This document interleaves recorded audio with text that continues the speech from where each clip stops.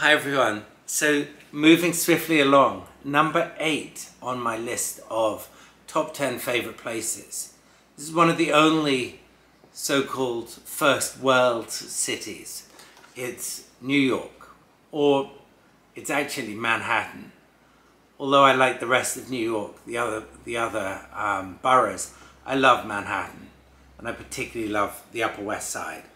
I was lucky enough in the 90s to live in a very strange um, arrangement on West 72nd Street between West End and Broadway. And the arrangement was between 6 p.m. and 9 p.m. on a Wednesday and Thursday evening.